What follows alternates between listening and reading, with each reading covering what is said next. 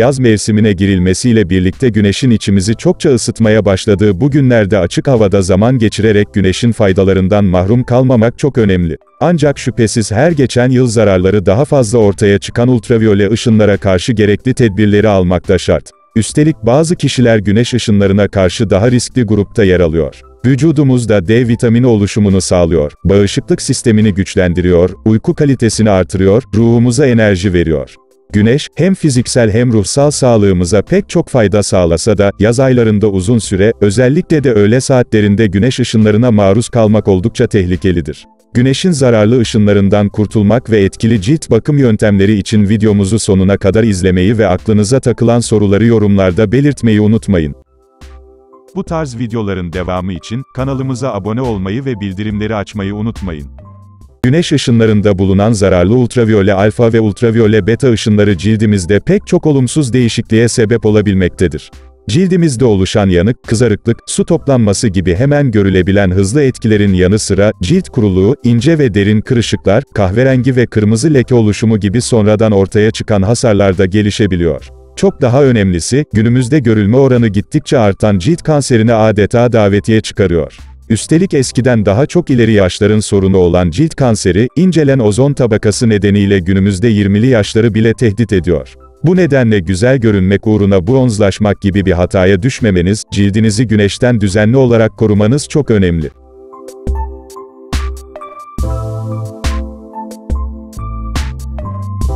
Güneş ışığında bulunan ultraviyole ışınlarının yüksek rakımlı yerlerde ve ekvatora daha yakın bölgelerde yani ülkemiz için güney bölgelerinde daha fazla olduğunun unutulmaması gerektiğini vurgulayan dermatoloji uzmanı doçent doktor Andaç Salman, bulutlu havalarda bile ultraviyole ışınları güneş yanığı ve deri hasarına yol açabildiğinden, güneşten korunma ihmal edilmemelidir. 11 ila 16 saatleri arasında güneş ışınları daha dik ve yoğun geldiği için bu zaman aralığında güneşten kaçınmak ve korunmak çok önemlidir. Ayrıca kum, kar ve su gibi yüzeylerden yansıyan güneş ışığının, gölgede bile güneş yanığına yol açabileceği akılda tutulmalıdır, diyor.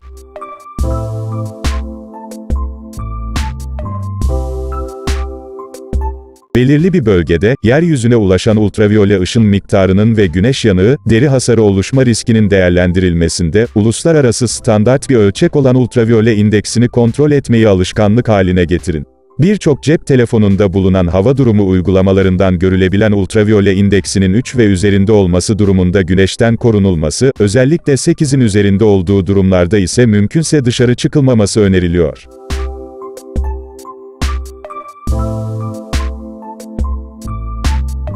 Güneş koruyucunuzun güvenilir olmasına dikkat edin ve etkili biçimde kullanın. Çok ince sürüldüğünde yeterince koruyucu olmayacağı için yeterli miktarda sürmeye dikkat edin. Güneş koruyucular güneşe çıkmadan 20 ila 30 dakika önce sürülmeli ve terleme gibi nedenlerle etkisi azaldığı için 3 ila 4 saatte bir yeniden uygulanmalıdır. Güneş koruyucu kullanılmış olması, güneş yanığı riski olmadan uzun süre güneşe maruz kalınabileceği anlamına gelmediğinden, diğer koruyucu kurallara da uymaya dikkat edin.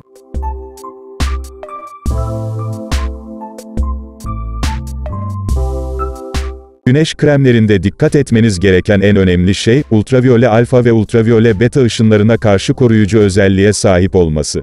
Gövdeye ve vücudun diğer bölgelerine uygulanan süt formundaki koruyucular yüz için uygun olmayabilmektedir. Ayrıca mevcut akne ve hassasiyet gibi problemleri alevlendirebiliyor. Bu nedenle yüz için kullanacağınız güneş koruyucu ürünleri, cildinizin özelliklerine göre seçmeniz daha uygun olacaktır. Cildiniz yağlı ise ciltte yağlanmaya sebep olmayan ve cildi matlaştıran su bazlı ürünleri tercih etmelisiniz. Eğer kuru cilt yapısına sahipseniz nemlendirici özelliği de olan güneş koruyucu ürünler kullanmanız daha yararlı olacaktır. Cildiniz alerjik, akneli veya lekeli bir yapıya sahipse ya da kızarıyorsa bu tür probleminize yönelik özel güneş koruyuculardan faydalanın. Bu tarz ürünler cildi güneşten korurken aynı zamanda altta yatan hastalığa yönelik tedavi de sağlıyorlar.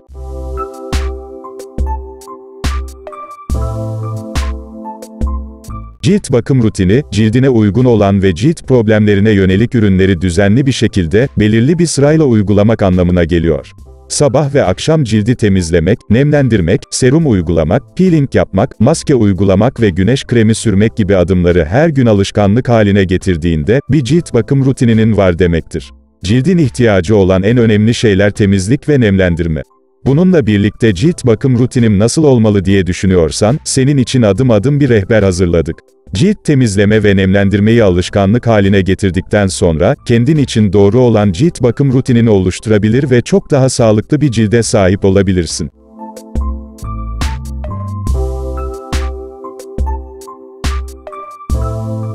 İster yağlı istersen hassas bir cilde sahip ol, cildi nemlendirmek en önemlisi. Uzun adımlar içeren bir cilt bakım rutini uygulamasan bile cildini düzenli olarak temizlemek ve nemlendirmek senin için vazgeçilmez olmalı.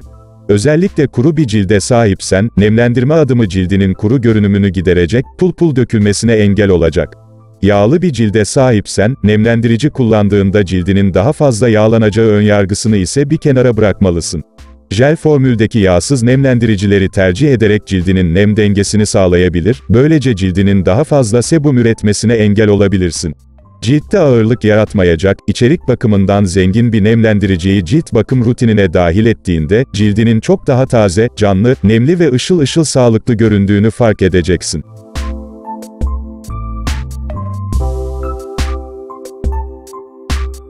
Yüz maskeleri, cilt bakım rutinlerimizin en keyifli adımlarından. Haftanın belirli günleri yüze maske uygulamak tamamen kendimizi şımartmak için birebir. Üstelik cilt problemlerine odaklı, etkili bir çözüm sundukları için maskeler de cilt bakımının olmazsa olmazlarından. Kil maskeleri, nemlendirici maskeler, arındırıcı maskeler, soyulabilen maskeler ve kağıt maskeler. Seçenekler bu kadar çokken, cilt tipine göre doğru maskeyi seçmek de meşakkatli bir iş. Pratik ve hızlı bir nemlendirme istiyorsan kağıt yüz maskelerini kullanabilir, yağlı bir cilde sahipsen ve cildini arındırmak istiyorsan kil maskelerini tercih edebilir, siyah nokta ve gözeneklerini gidermek için de soyulabilir siyah maskeleri cilt bakım rutinine dahil edebilirsin. Haftada 2 ila 3 kere uygulayacağın yüz maskeleri ile cildinde büyük farklar yaratabilir.